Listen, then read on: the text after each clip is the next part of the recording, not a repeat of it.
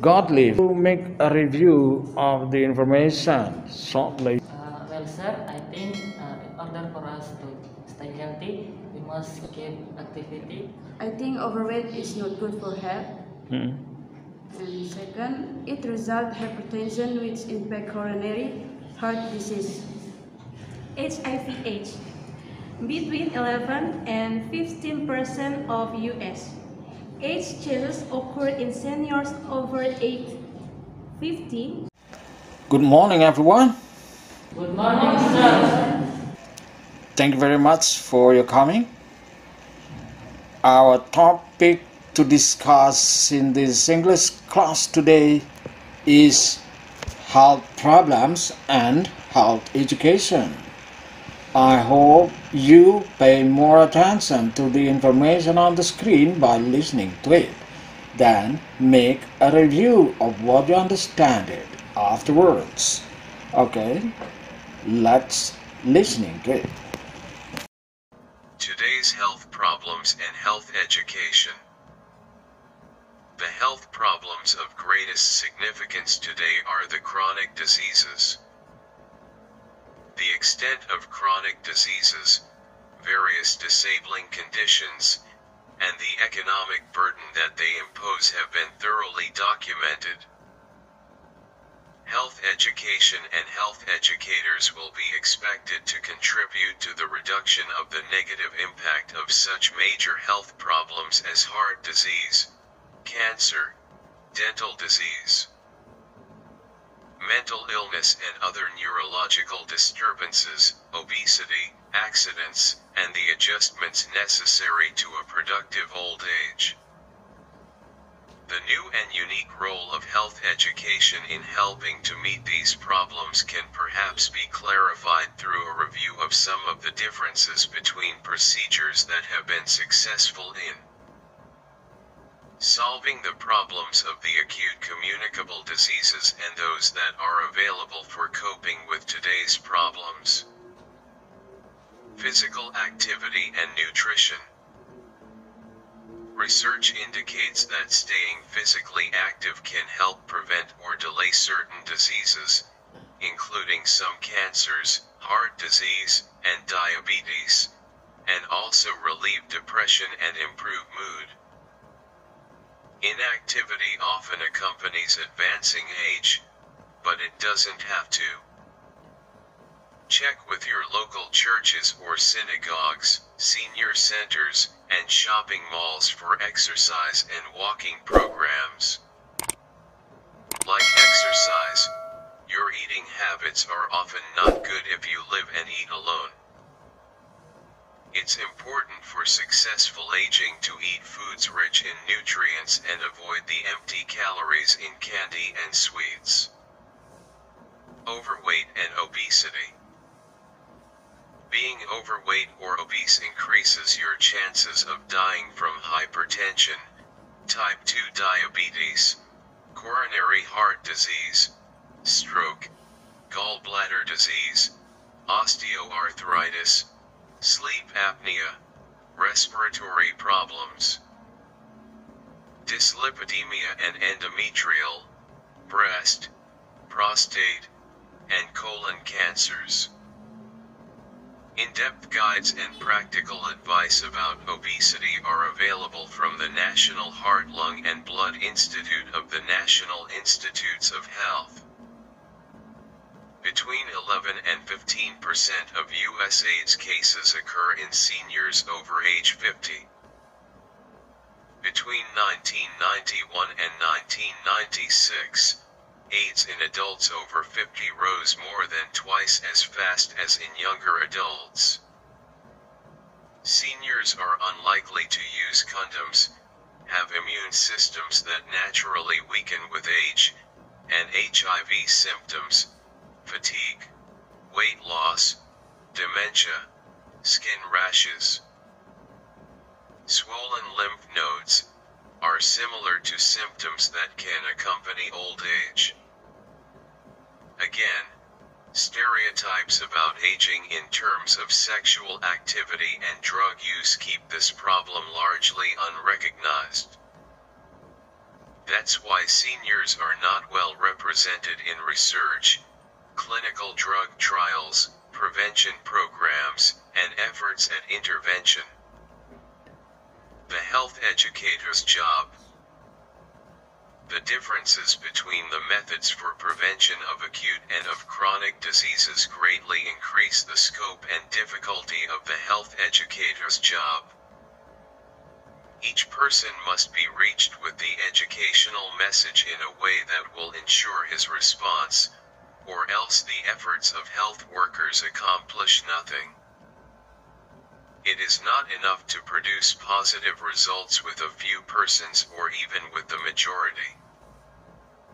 Even approximating the achievement of such an all-inclusive goal will challenge every resource and all the imagination health educators can muster. The problems of greatest community health significance today affect adults and older persons much more than did the contagious diseases. To be sure, many children suffer from rheumatic fever, diabetes, and some of the other chronic conditions, but the majority of the persons affected by chronic diseases are adults.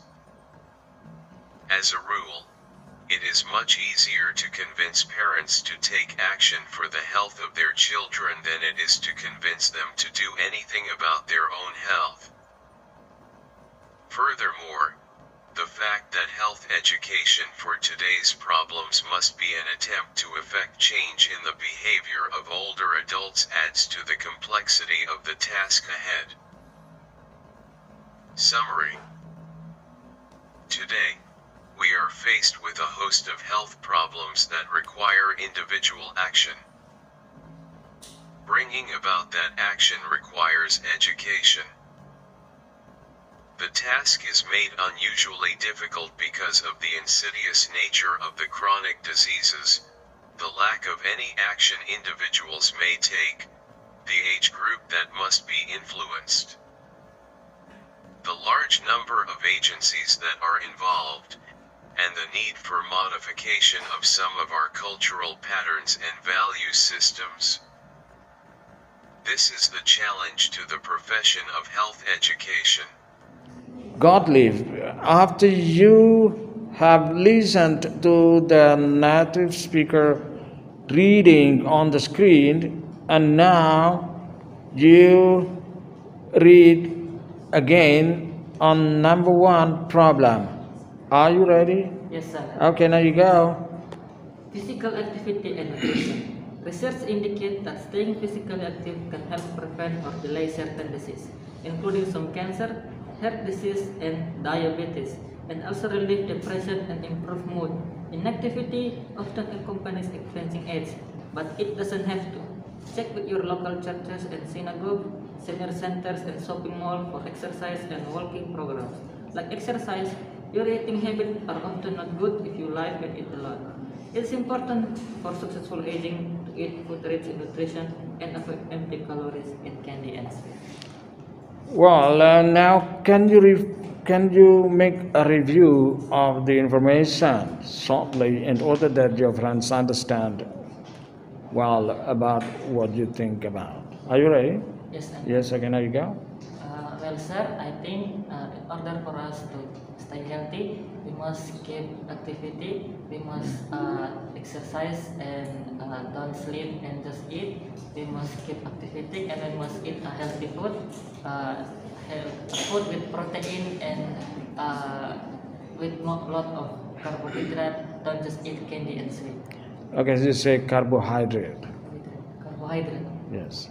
Okay. Thank you very much. And uh, well, the next one is uh, well for the next one is mega. Now what do you think about what, what number is it? What, which one do you want? Number two. What is it about? Overweight and obesity. Overweight and obesity. Well, now first of all, I would like to know uh, whether you have good pronunciation or not by reading. Okay, now you go. Are you ready? Brain. Okay. Overweight and obesity. Being overweight or obese increases your chance of dying from hypertension, type 2 diabetes, coronary heart disease, stroke, gallbladder disease, osteoarthritis, sleep apnea, respiratory problems, dyslipidemia, and endometrial, breast, prostate, and colon cancers.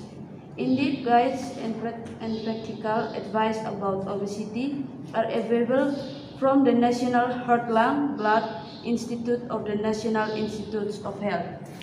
Well, after, yes, I think that's good uh, pronunciation. Well, uh, can you make a review of this problem? Okay. I think overweight is not good for health. Hmm. And second, it results hypertension which impact coronary heart disease. Mhm. And if we win, if we if we want to get guidance in our problems, we can If go. we want to get guidance, problems, we can go to if, national if heart we have good, if we want to get a guidance, guidance. Guidance. Lagi. If we want to get guidance, Hmm. if we want to get guidance our problems, we can go to National Heart Lung and Blood Institute of the National Institutes of Health. Okay, so if you have health problems, you can go to this to get the guidance.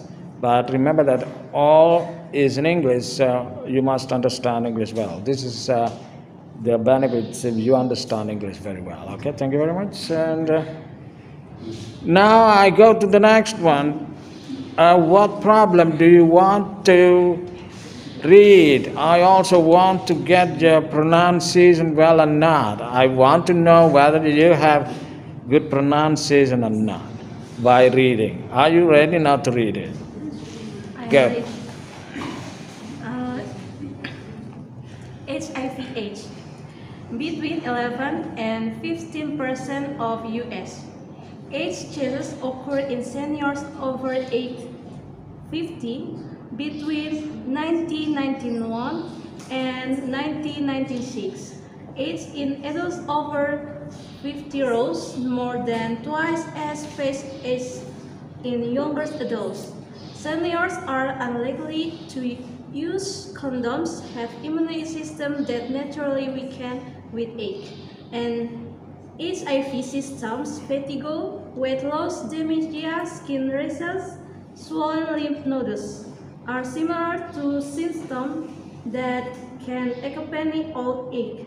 Again, stereotypes about again in terms of sexual activity and drug use keep this problem legally uh, similar to system that can accompany again against stereotypes about again in terms of sexuality sex, of sexual activity and drug use keep this problem legally unrecognized.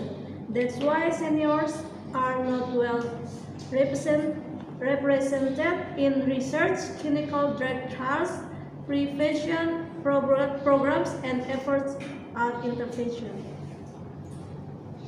That's all. Sudah. Well, students, after you read and after you get the understanding of the information about the health problems, so when you are working in the future after you graduate your education here, so you must know well about uh, these cases. So when you meet a foreigner or foreigners, you can uh, give information about and how to avoid and how to get solution of this problem. Okay? Thank you very much for your attention and see you on the next time in different topic.